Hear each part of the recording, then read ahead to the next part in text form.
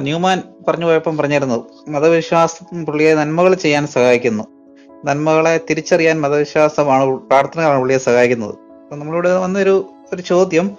ഈ നന്മകൾ എന്ന് പറയുമ്പോൾ യഥാർത്ഥത്തിൽ കാലഘട്ടത്തിനനുസരിച്ച് മാർ മാറുകയില്ലേ? ഇപ്പം പെർമനന്റ് ആയിട്ട് നന്മ എന്ന് പറഞ്ഞ സംഗതി ഉണ്ടോ പഴയ കാലത്തെ പല നന്മകൾ ഇന്ന് തിന്മകളായി മാറിയിട്ടില്ലേ?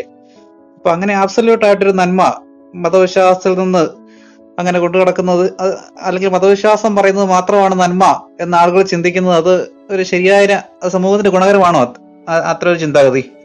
പാസ്റ്ററിന്റെ അഭിപ്രായം എന്താണ് ആ കാര്യത്തിൽ? അല്ല നന്മയൊരു പുസ്തകത്തിൽ എഴുതി വെച്ചിരിക്കുന്ന അനുസരിച്ച് നന്മ എഴുതാൻ അത് തിന്മയായി തീരും നന്മ എന്ന് പറഞ്ഞു കഴിഞ്ഞാൽ അതാത് സമയത്ത് നന്മയും തിന്മയും ആപേക്ഷികമാണല്ലോ.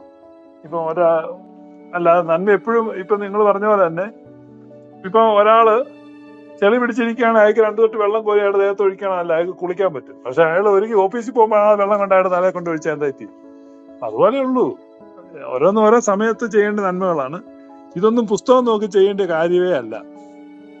മതഗ്രന്ഥങ്ങൾ നോക്കിയിട്ടല്ല മനുഷ്യന് നന്മ ചെയ്യേണ്ടി മനുഷ്യന് ആവശ്യമുള്ള കാര്യങ്ങൾ ചെയ്യുക. ഇതൊന്നും നോക്കേണ്ട ആവശ്യമില്ല.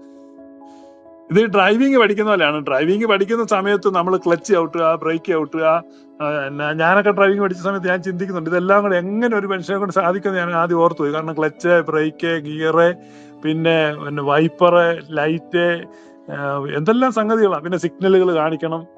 ഇതുമെല്ലാം നട പക്ഷെ നമ്മൾ ഡ്രൈവിംഗ് പഠിച്ചു കഴിയുമ്പം നമ്മൾ ഇതിനെക്കുറിച്ചൊന്നും ബോധവാന്മാരേ അല്ല. ഇപ്പൊ ഡ്രൈവ് ചെയ്ത് കാർ ഓടിച്ചു പോകുന്ന ആൾ ബ്രേക്ക് ഗിയർ ഇതിനെ പറ്റി മനസ്സിൽ പോലും വരുന്നില്ല. ബ്രേക്കിനെ പറ്റി ചിന്തിക്കുന്നില്ല ഗിയറിനെ പറ്റി. അത് എന്ന് പറഞ്ഞാൽ ഒരു സമൂഹത്തിൽ ഒരു സോഷ്യൽ ക്രീച്ചറായിട്ട് ജീവിക്കാൻ പരിശീലിക്കുന്ന ഒരു വ്യക്തി.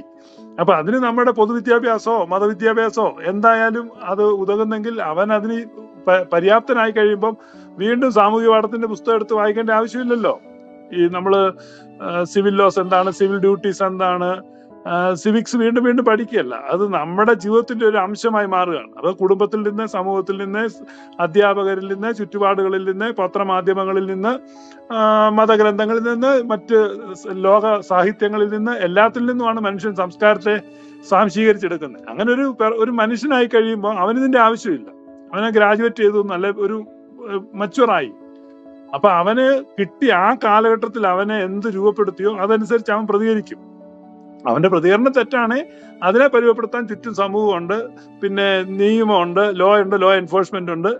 നാട്ടുകാരുടെയും പോലീസുകാരുടെയും ഒക്കെ കൈയുണ്ട്. അങ്ങനെ അവൻ പരിമപ്പെട്ടോളൂ അല്ലാത്തൊരു സമൂഹത്തിന് കൊള്ളാവുന്നവരായിട്ട് ജീവിക്കും. ഇത്രയൊക്കെ ഉള്ളൂ. ഇതിനപ്പുറത്തെ അണ്ടർസ്റ്റാൻഡിംഗ് ഒന്നും എനിക്കില്ല.